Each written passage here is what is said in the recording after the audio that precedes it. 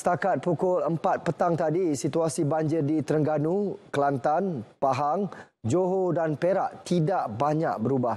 Laporan Bencana Nasional APM merekodkan jumlah keseluruhan 66,601 penduduk terjejas kini berlindung di 466 pusat pemindahan sementara.